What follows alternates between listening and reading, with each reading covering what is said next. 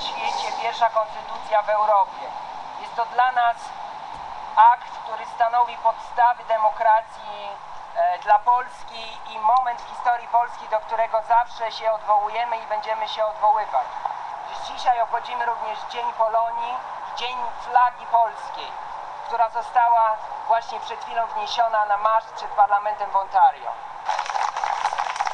Now I am I am particularly honored to be in this spot, and with a, just a slight correction to the uh, to the representatives of Polish Congress. It has been at least 14 or 15 years that we have been gathered under this flag.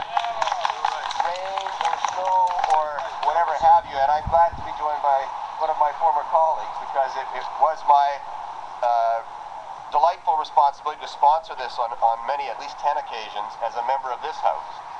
And what I want to let everybody here assembled know is this is not just about the continuance and the furtherance of the Polish nation. This is about recognition.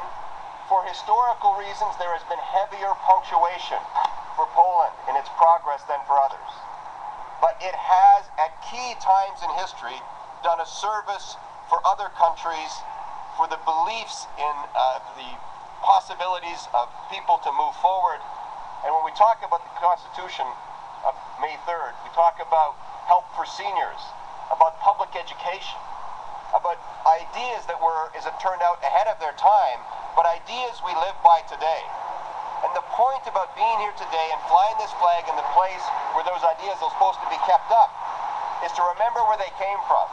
Not just abstract ideas that we happen to get around to, but kept alive by the persistence and the courage and the determination of the Polish people. So It's my pleasure to be here with so many Polish Girl Scouts and Boy Scouts today. A naprawdę jest budujące zobaczyć nas aż tylu dzisiaj obchodząc tą ważną rocznicę. Obchodzimy dzisiaj i Dzień Flagi, i Dzień Polonii i święto uchwalenia Konstytucji 3 maja. I to są rzeczy, o których uczymy się w polskich szkołach, które pamiętamy na zbiórkach harcerskich i które dają nam następną kolei możliwość demonstrowania publicznie naszego przywiązania do ojczyzny naszej, do, do ziemi matek i ojców naszych, bo wielu z nas się urodziło w Kanadzie. Nie, nie zapomnijmy nigdy o tym, skąd pochodzimy. Bądźmy zawsze dumni tego, że jesteśmy Polacy i pokazujmy się właśnie w takich miejscach jak przed Queen's Park, gdzie wznosimy naszą biało-czerwoną flagę i radujemy się tym, że jesteśmy Polakami w Kanadzie. Czuwajcie! Dziękuję Państwu za to uczestnictwo i w ten sposób nasza uroczystość powoli dobiega końca.